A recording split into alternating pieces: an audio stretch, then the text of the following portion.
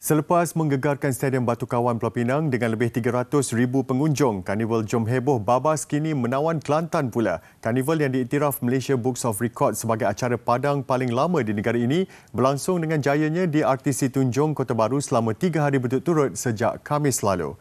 Untuk merasai kemeriahannya, kita terus ke lokasi bersama wartawan Faiz Arif. Kongsikan laporan anda, Faiz.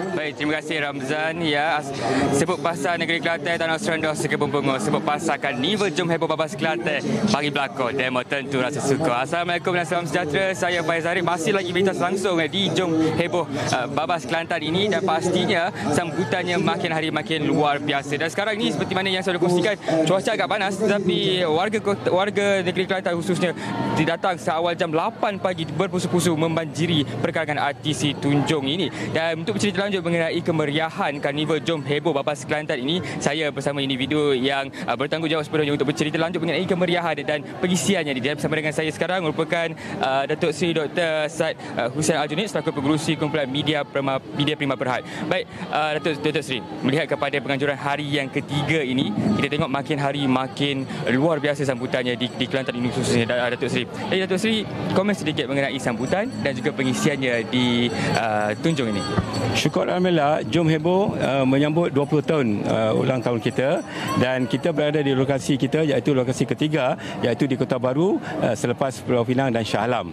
Dan uh, pagi ini untuk mengadakan pengisian kekeluargaan, kita telah mengadakan uh, choral speaking iaitu uh, kerjasama di antara uh, Jabatan Pendidikan Negeri Kelantan dan juga dengan Jom Heboh. Iaitu choral speaking ini uh, bicara berirama uh, di mana kita telah menjemput budak-budak sekolah dan telah diadakan pertandingan dan begitu ramai sekali yang hadir.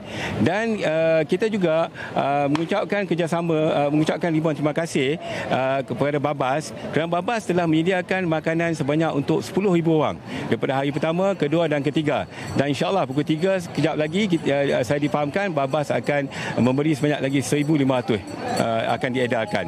Dan saya mewakili Media Prima mengucapkan ribuan terima kasih kepada kerajaan negeri Kelantan dan juga rakyat Kelantan kerana telah menjemput kita untuk mengadakan Jom Heboh. Terutamanya kerana kita menyambutkan Jom Heboh kini 20 tahun.